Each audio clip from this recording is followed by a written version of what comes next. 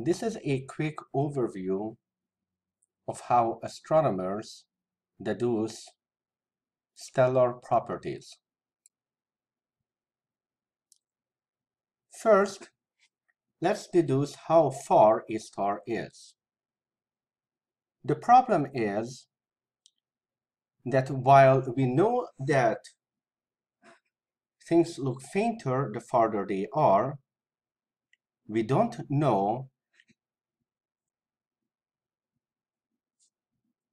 what the power output of a star really is. So we need an independent way to deduce distance. Stellar parallax is the apparent motion of a nearby star relative to farther away stars due to the orbit of the Earth around the Sun. As the Earth orbits, its vantage point changes towards the nearby star. The greater the apparent motion, the closer the star is. Next, deducing stellar temperatures, we use the color of the star. The wavelength of maximum emission is inversely proportional to the surface temperature. Blue stars are hot Red stars are cool. Next, consider the size of the star. The larger the star in surface area, the brighter it is. Hence, between two stars of the same surface temperature, the bigger one will be brighter.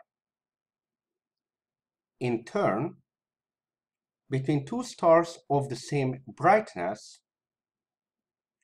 the cooler one must be larger to compensate for its lesser per area output.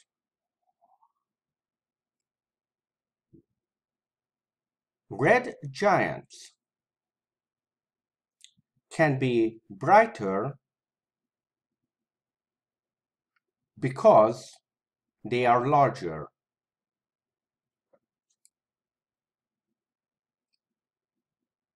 Deducing the mass of stars comes from their gravitational effect.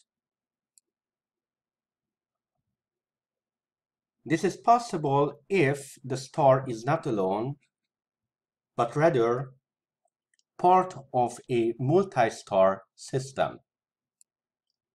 We can detect the orbit of the star around a common center of mass using such things as astrometry or the Doppler effect. Remember that the Doppler effect is not about the color of the star. Rather, it is only a shift in the position of the spectral lines observed in its spectrum.